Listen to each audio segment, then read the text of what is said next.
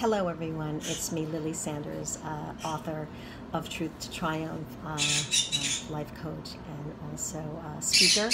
And uh, that, by the way, is my parrot in the background. That's Pippi, and um, thought leader in the makings. So I wanted to come on here and just do a, a video that I feel is. Um, uh, topical and important at the same time. So I'm, I'm seeing a lot of people um, posting uh, their their feelings, and I can appreciate that, and I do appreciate that. Um, I'm, I, obviously I see, you know, uh, due to the this global pandemic, I see all of the fear that has set in and uh, continues to rise. So, what I would like to suggest is that. Um, and this, by the way, people that know me, they know that I'm always speaking about love and self-love and and um, and um, but I, want to really be clear about something and very transparent that fear is is what's feeding all of these emotions right now right? We're in panic people are people are worried and, and people are upset and, and, and people are depressed and, and, and sad and um, some people are just kind of feeling a little melancholy and whatever, whatever the emotions may be they're all flying around. It all stems from fear. Um, but you know for someone that is a, a, a speaker and a, a, thought leader and someone that really promotes uh, love and self-love and, um, and and lives that lifestyle i would like to say this about that. Love is not it's not passive it is not weak. And it certainly does not hide behind a rock called fear. So, this is going to be my tough love statement to you all. And that is going to be to get a grip. Because when you really are exercising and really are in a place of love and self love, that means that it's going to, it, it, it should be the energy that reigns. It should be what takes precedence, not just precedence, it should be what really overrides everything else because tr- because truly uh, love trumps fear every time. So what's going on right now is we're listening to that little little liar on the shoulder, which I talk about that in Truth to Triumph. So most people that follow me, they know about that. Um, and that little liar on your shoulder is is fear, and it, it, it's always feeding you things every single second of the day. Especially when things are going really good in your life, it's, it's it never misses an opportunity to come knocking.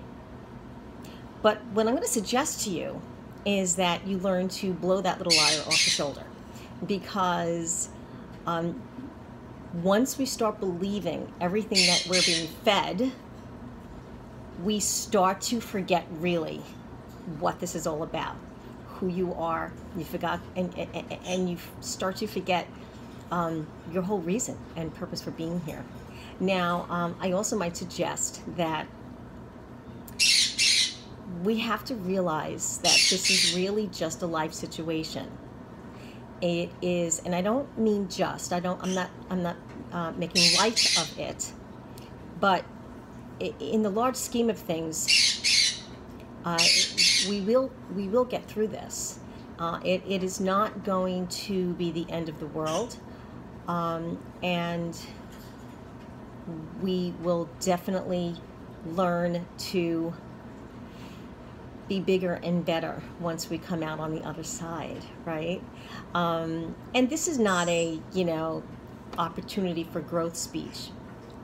It's a lot more than that. So what I'm going to suggest to you is that you see everything that's going on right now in, in, in the world. And I do want you to take it personal. And you know in which way? I'd like you to actually do a self inquiry. Do a self inquiry with yourself and ask innate. Ask what's in here. Ask self, the universe, God, whatever works for you. Ask, what does this mean for me? Meaning, what does this situation that I am in right now, what does this mean for me? the answer that's where your growth will come. And um, you know, we're all in a story right now. What's interesting is that you know we're all in this story together.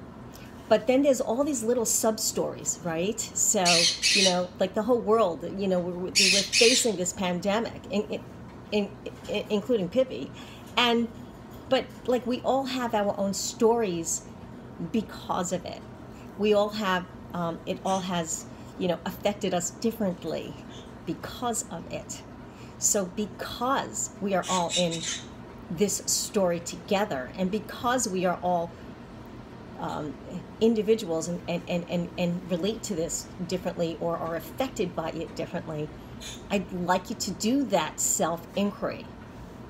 And so, in recap, I want you to ask yourself, what does this mean for me?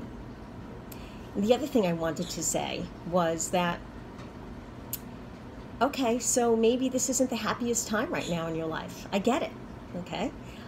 Um, but happiness is it's it's temporary anyway.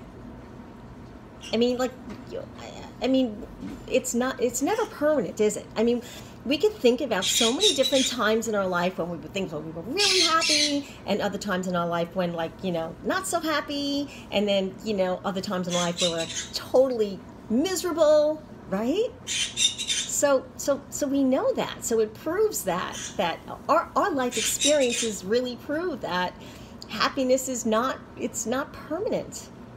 So what I'd like to suggest to you is to practice happiness. Please. It takes practice every day, every moment. And even in the the worst situations, um, I, I, I truly believe that we can always find one little condition in, in, in any life situation where we can find a morsel, an inch, a space, a breath of happiness. And so, in that practicing of happiness, um, then we can go from experience to experience and at least find those little moments in happiness, you know, little moments of happiness in each experience. Um, you know, I, I could think of, you know, for me, um, one of my most um, saddest times uh, of, of my life uh, and I have not had too many happy stories. Uh, again, you would know that if you read Truth to Triumph, and that's just a little bit of my stories.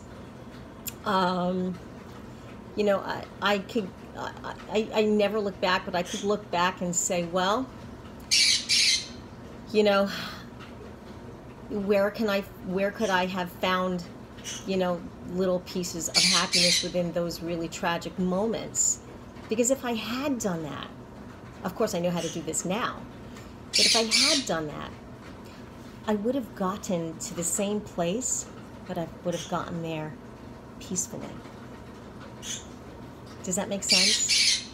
In other words, we're, we're, we're winding up, we're going to the same place anyway. So why not go there feeling happiness and peace? And with that said, be blessed. Bye.